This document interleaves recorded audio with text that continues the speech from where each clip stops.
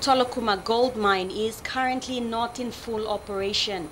The 480 plus workforce protested over management issues since the disbanding of Petromin.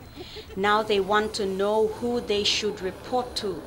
Spokesman and medical officer at the mine, Dr. Newton Albert, said workers want a new board and management isolated from Petromin to control finance and running of the mine.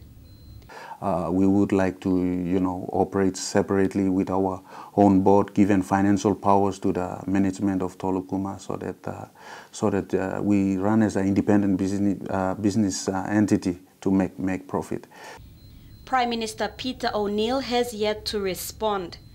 Newly appointed CEO of Tolukuma, Sam Inguba, said in a recent interview that the Prime Minister has been informed of plans to revitalize infrastructure such as mill maintenance and loaders.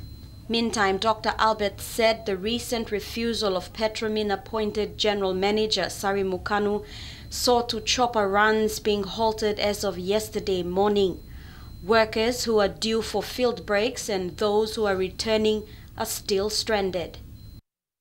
Salome Vincent, National MTV News.